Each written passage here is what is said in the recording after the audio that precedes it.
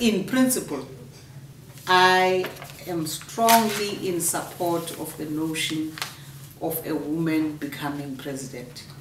I have held that view for decades. I myself was molded by many women leaders who, in my view, should have been, could have been very easily, you know, uh, the leaders, the head of state of the, of, of the country. Comrade Jacob Zuma, as I've said in this answer, he is a comrade. He is not my friend, nor is he my enemy. He's not my enemy. He's not my personal friend. He is my comrade, he is my leader, and he is also the head of state of South Africa. Yes, there's been land reform, but it's been very slow and very trickle down in nature.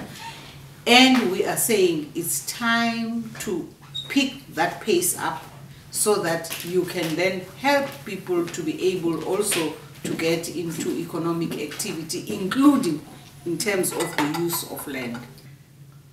I am able to, to get through.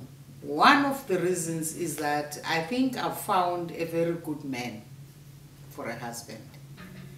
A man who's also a comrade. A man who took his time to decide that he wanted to commit uh, in spite of the challenges of distance from time to time. Uh, so it's very helpful to have someone reliable. Let me put it this way, in my next life I'll be an, a full-time artist.